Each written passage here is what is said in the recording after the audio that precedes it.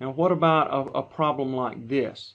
Uh, this is, if you recall from previous classes, this is called a piecewise function. A piecewise function just is a, a rule, it has two different rules for writing that function or, or for graphing it. These are often hard to do on your calculator. So let's just quickly draw this out by hand here. There are my x and y axis. And what does it say? That when x is not the number 5, the function is 1. So let's find this is our number 5. And we're saying when it's not 5, then the function is the value 1 up here.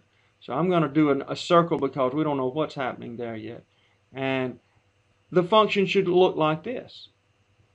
Because it says when x is not 5, the function is 1. So when x is 3, the function is 1. When x is 1, the function is 1. When x is 0, the function is 1. When x is 6, the function is 1. So we just get a horizontal line. Now what happens when x is equal to 5? It says the function value is negative 1 then. So when we are at the number 5, our function value is down here.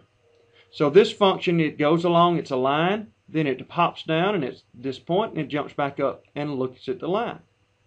Well, what's the limit as x approaches 5 of this function?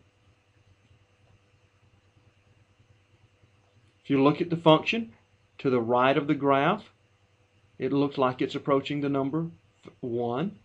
From the left of the graph, it's approaching the number 1, so the limit is the number 1.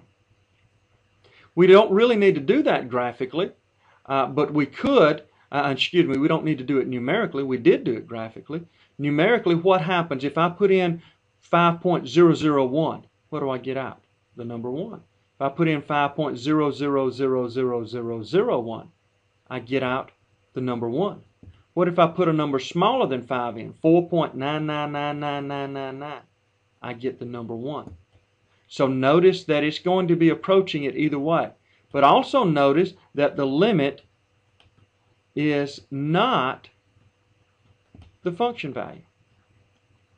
The limit as x approaches 5 is not the same as the, uh, the same as a function value.